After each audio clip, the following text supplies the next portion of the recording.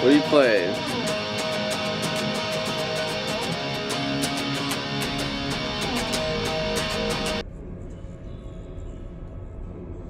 you know, Adam just really just had this new way of just showcasing his abilities. I think personally for this record, I like the guitars simply for the fact that they were written more purposefully. These ideas are more cohesive with everything else going on rather than like, I didn't write from just a guitar perspective, I wrote from like a song perspective. Some songs we just started with the simplest idea and just loved it and just kept going with it. And I feel like was, that's why some of these songs came out so natural. I think the main thing I noticed from going back to our other albums was I think that there's a big disconnect between drums and guitar. I think there's definitely a lot of parts that we were on different pages. I learned to complement the music more and just, you know, instead of having a battle between me and Adam, just kind of let things play out. And I think that we just made better decisions about what to do with drums. The tone, like just the drum, the overall drum sound on the record is great the kit that it was tracked on, just to the room it was tracked in. When I was writing drums, I just wanted to make sure it was going to create the biggest sound possible. And, you know, I, I, wanted to keep it full. I just wanted to have fun with it. And then, you know, tracking full kit was just amazing because, you know, all the things I wrote, all the influences I drew, I could just really, really showcase it. But I think what is different is that, like, he definitely pushed himself a lot more. I think we, I kind of boxed him into a corner by having him have these really technical parts that he had no other choice but to record it. So I think that's definitely different. I feel in the past he kind of, if he was concerned not being able to pull it off in recording and didn't want to look like a fool, he wouldn't do it. But this time around, I think he kind of overcame that and uh, didn't really kind of let that weigh him down to not write certain drum parts a certain way. And I think he kind of went into it was like, I'm just gonna do it. I have no other choice. And I think that's what makes the drums better this time around the formula is there. We just know we, me and Adam have been writing music together for a while now. We just click, and you know, Adam's a great, great musician. He pushes me harder than any other person I've ever worked with. I feel like the drums are definitely a big step up from the last record. I just think the drums on this album are real creative. They're definitely a step above everything else we've done so far. They really just were very patient with me. Did not rush me at all, and we did it quicker than I've ever done it in the past. Time, it's there's, there's some soul to it. There's some cool little little parts where he flexes. It's nice.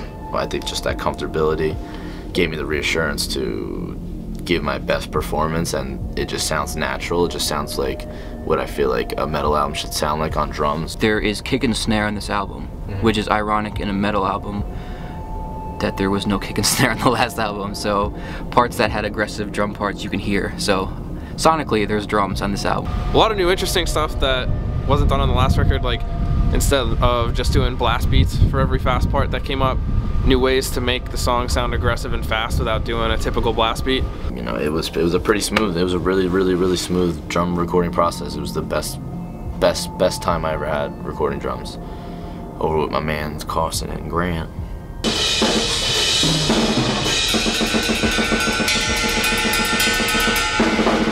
Um, bass on this album was very cool because uh, it's fucking chunky. Recording bass here was awesome. I got to put in basically whatever I wanted. Um, and Carson really helped me a lot with uh, the process of everything and just made made me feel comfortable and I think him and Grant did that with all of us. You know, Gary tracked bass on this record and uh, Carson really helped him out. Just, you know, like I said, just patient with everyone. There's real bass. Um, the Absolution of Hatred and Psalms had MIDI bass. The last real bass we had was um, Maleficium, and I think that it definitely complements the guitar really well. It doesn't, it has that the purpose of a bass. It has the low end of it and you can actually hear it and feel it rather.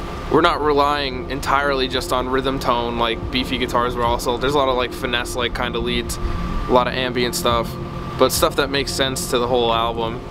All my ideas are definitely very ambitious, highly caffeinated ideas that set, like sound good in my head but don't really come out to be great on paper. But I think I kind of like shaved it down, controlled it, and made it more cohesive rather than like here's a bunch of flurry of notes that have no sense to them. So it still feels like me because it is very like all over the place, but it makes a little more sense. He just came through. He really just surprised me on a lot of the stuff he was showing me. A lot of the stuff we worked on was more or less finding that one riff that was like cool that we could just like repeat multiple times or twice or make into choruses. And that's the strong guitar suit of this album is that it has a lot of really good catchy parts. I also write with a lot of layers in mind. I'm a huge fan of like um, like soundtracks and and, and uh, motion pictures, and I feel like I try building off of that where you have a bunch of different parts going at once that kind of complement each other. You know, we don't stop for a second. We just keep, the, as far as the rhythm section, we just keep going. And I just really want to create a lot of depth as opposed to just like, here's a riff, here's a harmony of a riff, or, and that's about it. It's really fucking heavy to be completely honest with you. Adam's shred sounds super tight. It's a lot more tastier, you'd put it. I guess you'd put it. For me, it just starts with having a foundation of a part and just building, building it up and uh, making sure there's like a melody, making making sure there's some ear candy for people to listen to. The stuff he was coming up with, I mean, we were just sitting there. We would have a chorus and we would build the whole song off that. I mean, and I just felt it felt so natural writing. Lead also lead wise, I think these are my favorite solos on any of our records as well.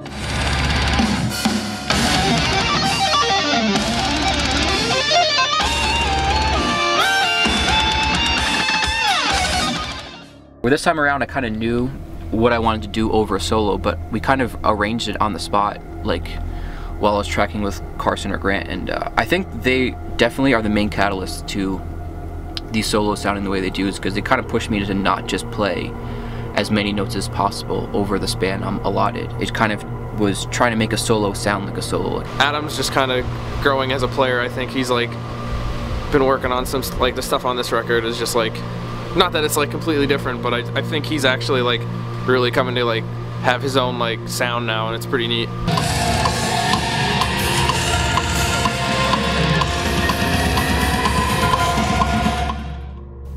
You know, we really just wanted to not limit ourselves on what we can or cannot do, and even if it was something that we thought, hey, maybe it's something this band hasn't done, or you know, I don't know if we would do, we would try it, and it would, it would work out. So you know, this this release taught us to not be scared and to, you know, if it's something we're thinking, let's just do it. And the songs sound like just a mature version of what we've always done. Tried to pride ourselves this time around writing a record where people weren't fast forwarding through the parts just to get to the heavy part, but were finding themselves listening to the entire song, just enjoying it um, for what it is compared to Psalms, I think it's more cohesive, it's more thought provoked, it's more thought out, it's more planned. It's not just like, here's a bunch of riffs, here's a breakdown, we just kind of shoved it all together, and it sounds like that. I think this sounds like an album. It sounds like each song is a song, not just like you can intertwine any piece and put it into another song. It kind of, they all belong together. I just can't wait to see what kids say about this shit.